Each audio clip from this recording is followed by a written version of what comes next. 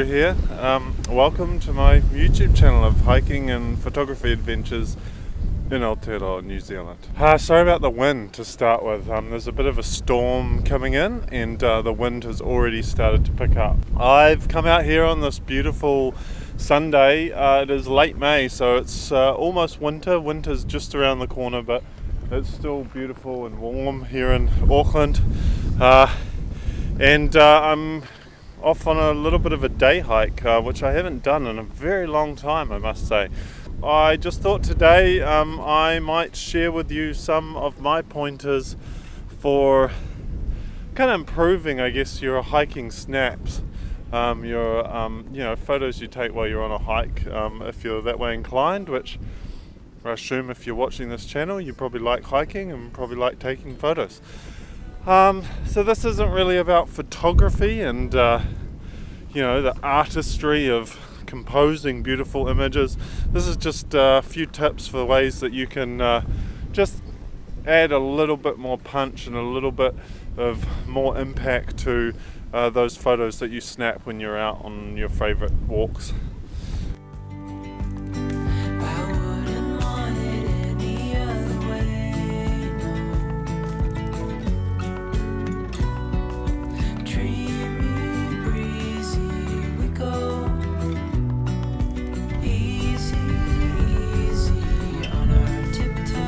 We've reached uh, the first kind of little high point on this track, and uh, it's quite exposed to the wind. Um, so again, sorry, ab- oh, sorry about the sound. Um, I really hope you can hear me.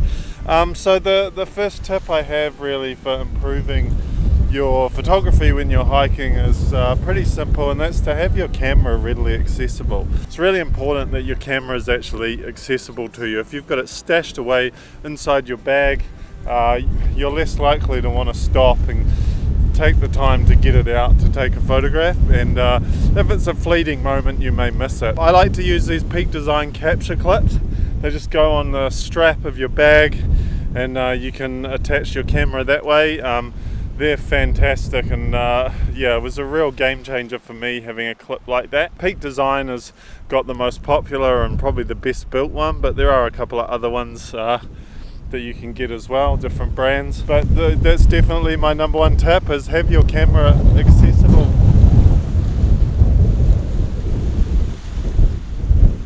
It's definitely getting windier. Um, so you know if, uh, if perhaps you're not going with such a complex setup with a, a mirrorless or DSLR camera, you may just have a little point and shoot. Um, so having a little um, pouch on your belt or if you've got hip pockets that fit your camera anything like that that's going to ensure that that camera is ready to grab at a moment's notice that's going to really help improve your photography simply by allowing you more opportunities to take photos. So that is tip number one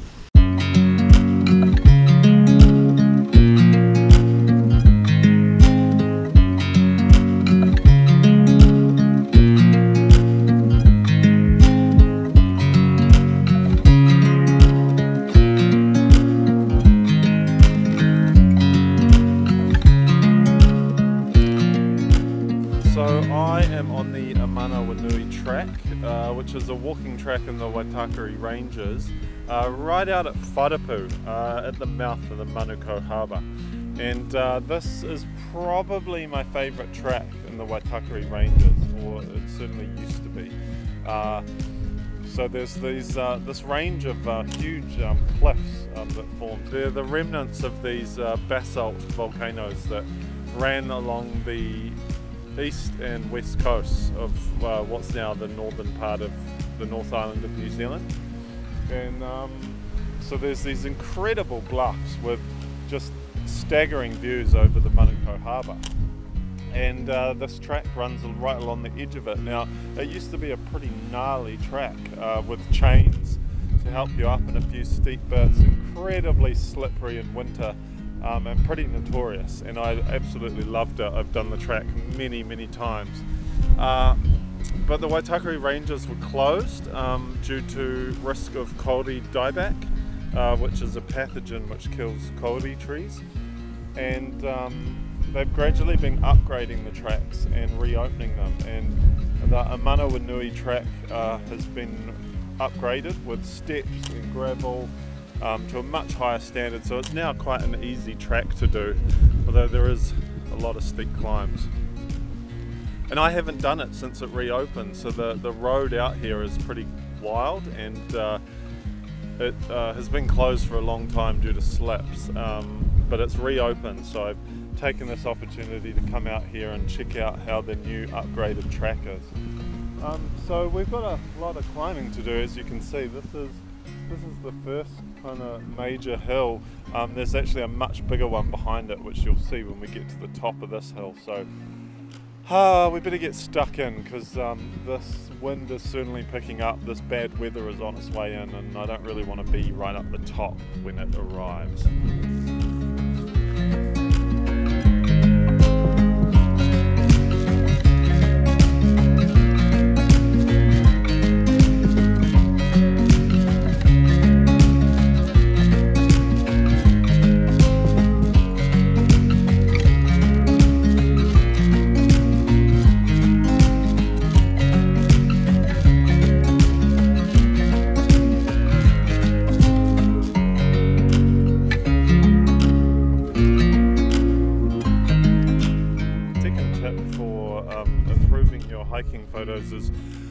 Uh, something that I'm guilty of not following today, and that is to start early and or finish late. If you've uh, if you know anything about landscape photography, you'll probably know that the um, generally it's held the best time to shoot is around sunrise and sunset, um, and you'll see plenty of those amazing sunrise and sunset colors on places like Instagram. For traditional landscape photography, where you take your time, um, you can turn up uh, to a spot specifically to take a sunrise or a sunset photograph, wait around for the perfect light, and then take your shot. When we're talking about uh, just taking snaps as you're out hiking, obviously the main purpose of your trip is to go hiking, and you don't want to be waiting around for the best light. Uh, you need to move on and carry on with your journey. But what you can do to give yourself the opportunity for at least a few photographs within that uh, area of best light is uh, if you start your walks really really early uh, or you finish your walks really really late um, and ideally maybe even do both. Um, obviously that's going to depend on the circumstance. Um, safety has to come first and uh, you know if you've got a full day of hiking and it's uh, an overnight or multi-day trip you may not uh, be able to finish really late or start really early. Uh, but certainly, if you can get some of your trip at least uh, occurring in that kind of golden and blue hour either side of sunrise and sunset, uh, that's going to give you opportunities for amazing light and uh, you may get better photographs. Um, I haven't done that today, um, so I had a bit of a sleep in and uh, I certainly can't stay out here till sunset because, as I said, the bad weather's coming in. So uh, I need to get moving.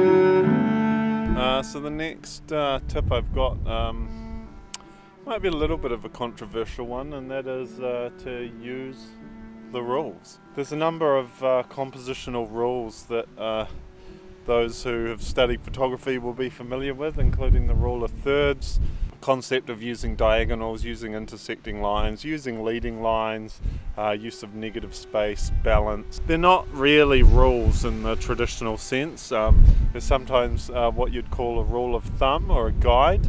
Certain images have found to be particularly aesthetically pleasing, and uh, from all of the most pleasing uh, compositions that have existed, it's uh, possible to draw certain generalizations about uh, compositional structure and compositional features that contribute to those images being the way they are and and that's where you get your um, your rules of composition. So it, it, can assist you with your images. Um, so it's not a rule but it's they're kind of like helping hands if you like.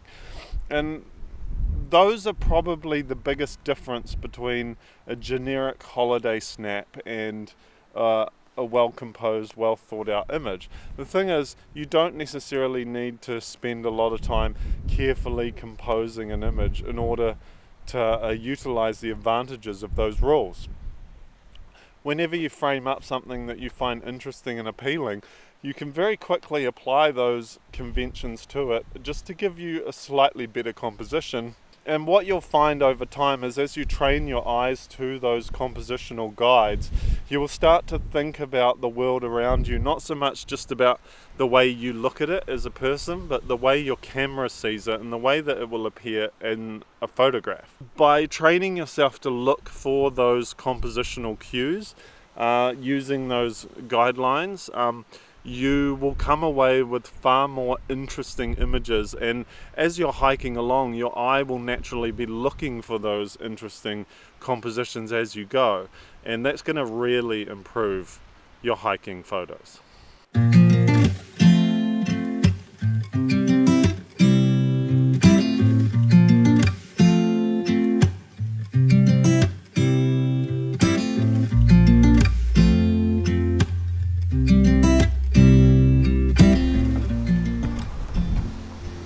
Last time I did this track, the uh, steps behind me weren't there, and it, we just had this chain the whole way down. They've uh, obviously upgraded it, but just kept this little bit of chain, I think, just to retain the flavour of the original track, which is it's good to see. And remember it the way it was. The day's getting on, um, that bad weather is approaching, the wind is building, and uh, pretty exposed up ahead as you can probably see. It's very very exposed. And um, yeah I've been out for a few hours now and I really need to get back and carry on with a few things at home. So I'm going to turn around and head back home.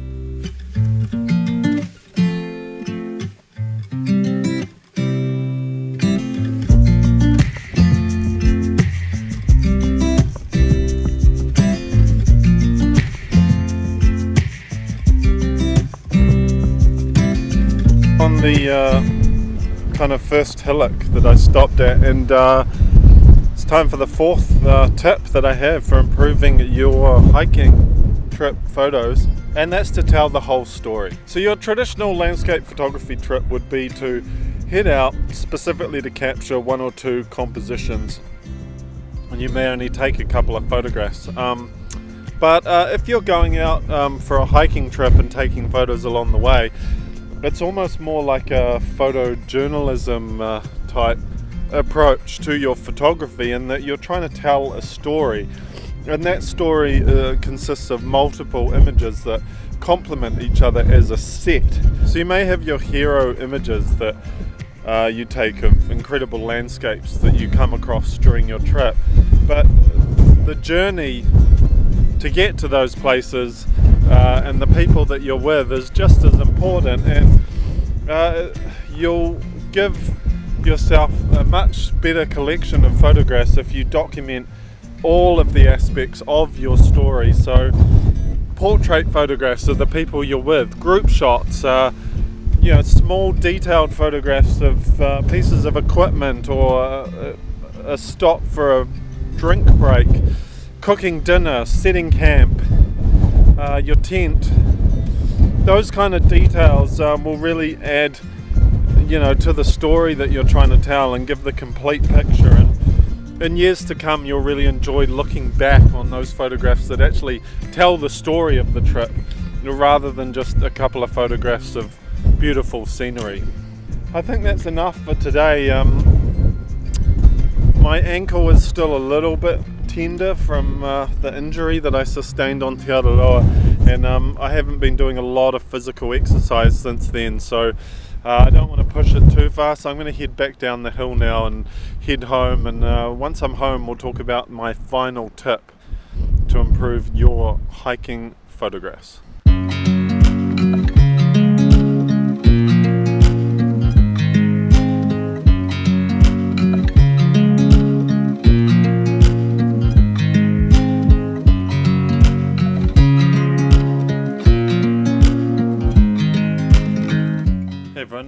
Back home, I've finished my walk and it's time for my final tip for improving your hiking photos and that quite simply is to edit them. Uh, modern cameras produce pretty good JPEG images. Um, when you take a photo using JPEG settings, your camera's processor will automatically do some basic editing to that photograph to give it a particular look. However, if you shoot RAW and then edit your photographs on your computer using software such as Lightroom, you have much more control over your images and you could be quite shocked at how much your photos will actually improve simply by using editing software. I know that programs like Lightroom can be quite intimidating when you first start to use them, but there's some really good tutorials on YouTube and actually they're quite simple to use and to get used to. Uh, a simple tip is that if you look at a program like Lightroom, the settings down the right hand side of the screen are listed in the order that generally you want to edit them. So you have your global settings at the top, your basic settings like exposure, white balance, contrast, and then as you move down the right hand side you get into your more specific editings and your masking. These tools can really make a huge difference to your photographs as some of these examples show. By shooting RAW, you unlock the full potential of your camera and then by editing those raw images you open up a whole new opportunity for creative expression. So my recommendation is to start shooting RAW and start editing your photographs in Lightroom or a similar software. You can start with some really basic edits to begin with or even import the presets from your camera and then modify them slightly. But as you get more confident and start to dive deeper into the more complex tools on offer, you're really going to discover some great creative potential to really elevate your photographs. Those are just five basic tips that I have for improving your hiking photographs. I hope that you'll keep these in mind next time you're out on a hiking trip and that they'll really enhance your photographs that you can keep forever as a memory of your trips. We'll see you on the next one. Thanks for watching.